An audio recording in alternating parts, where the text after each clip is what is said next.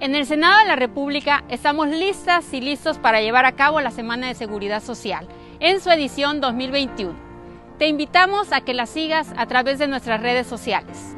Las actividades comenzarán este 26 de abril y en ellas se analizarán objetivo, alcance y los beneficios de las reformas al régimen pensionario de la ley del IMSS.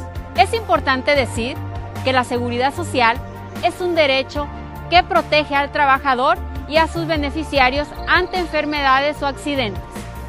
Cubre aspectos relacionados con la maternidad y brinda atención médica, hospitalaria, quirúrgica y farmacéutica.